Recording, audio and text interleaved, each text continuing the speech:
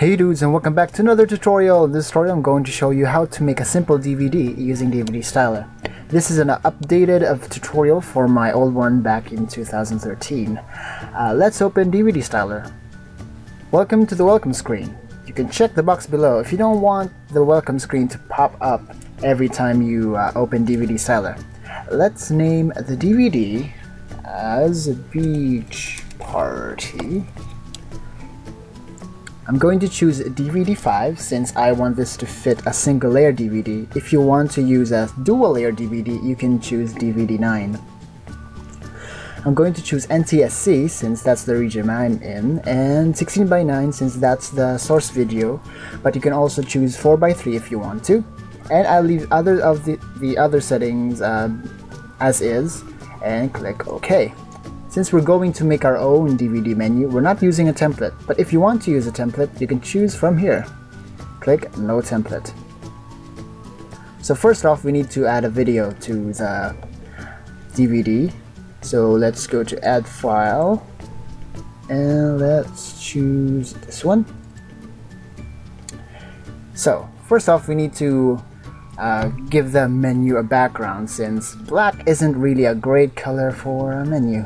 So let's double click, change the background, click the ellipsis, and let's go to the pictures and I'm going to choose the wood background. And let's uh, check the loop because DVDStyler has a bug that uh, somehow needs to be fixed that the menu becomes just gray, a gray static. So we need to check the loop just to make it uh, work. So click OK and ta-da! Now that your uh, DVD menu now looks like this, so let's make a button. We can choose a button if you, as you wish, but I'm going to choose a very simple way to make a button. Just go here in the title and drag it to preview. So that's the button for this video. You can do that for all the videos that you will put into the menu. So you can resize the the button as you wish or you can double click to go to the properties and let's change the look of the button. So first is the Im image or video. You can choose image if you want to put an overlay an image. Example, I'm going to choose an image, choose the pictures. Let's choose a random picture. Let's check it and click OK. As you can see, it's been replaced by a picture, but since it's not related, we're going to the video and click ellipsis, and we can change which frame you want it to preview. Click OK if you're satisfied. So next one is opacity. We're going to leave it as is since I, I want the button to be 100% uh, opaque. So the Rx and Ry determines the corners, how rounded they are. So I'm going to leave them as zero. And the border width, how thick the border is, of course. I'm going to change it to 7. You can add a shadow if you want to, but I'm not going to. Next is border color. I would want the border color to be white. I go on change it to be highlighted in color orange. And if it's selected, I'm going to change the color back to white. Let's click OK.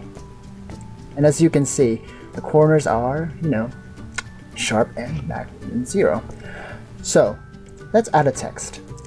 Right click and add text. So we will use a beach party since that's the DVD. Click OK. Now we want to change the font of this because it doesn't really fit. Plus it's too small.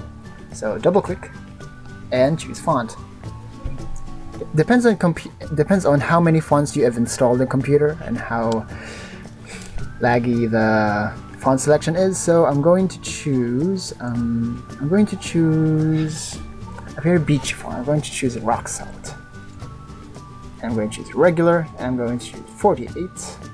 These uh, other other options are not really important, but if you want to strike out or underline, also this color doesn't really matter since click OK.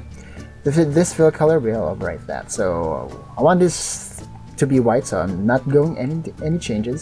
You can make other changes to the opacity, the outline color, the outline width, background color of the text, or add a shadow.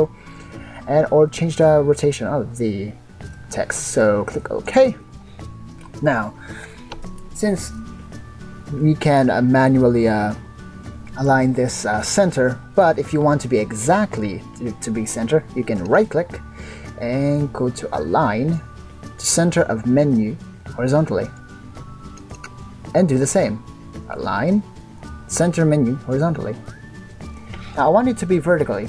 You can choose uh, multiple uh, elements in the menu by holding control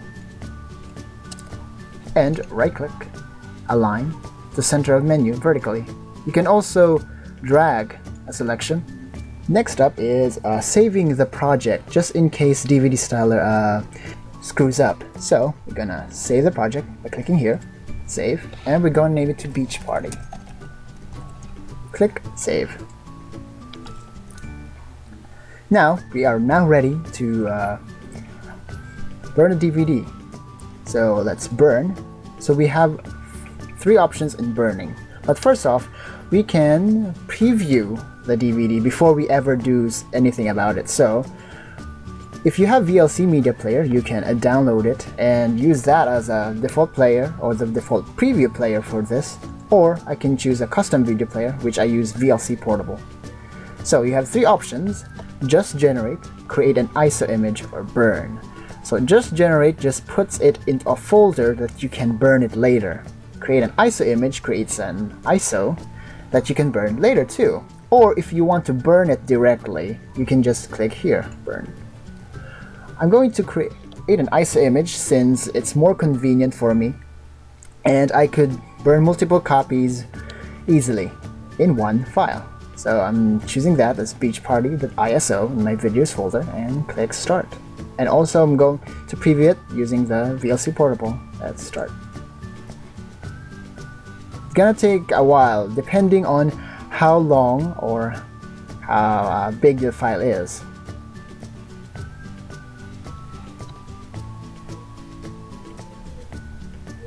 Also, it's recommended to let DVDStyler do its own thing without doing anything other anything else on the computer, just in case.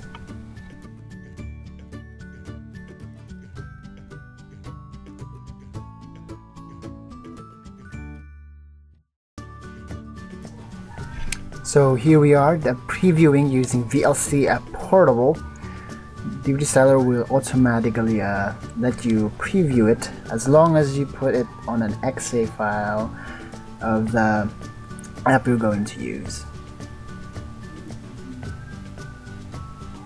And here we go.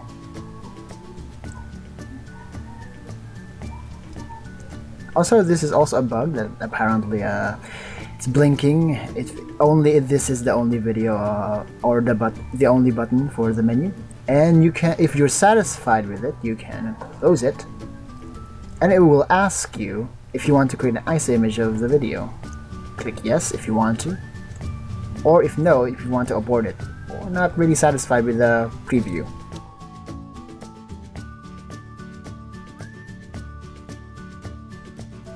And hooray generating was successful. You can click close if you want to uh, that so that's about it. That's how to create a simple DVD menu using DVDStyler. I'm Newecreator. See you later.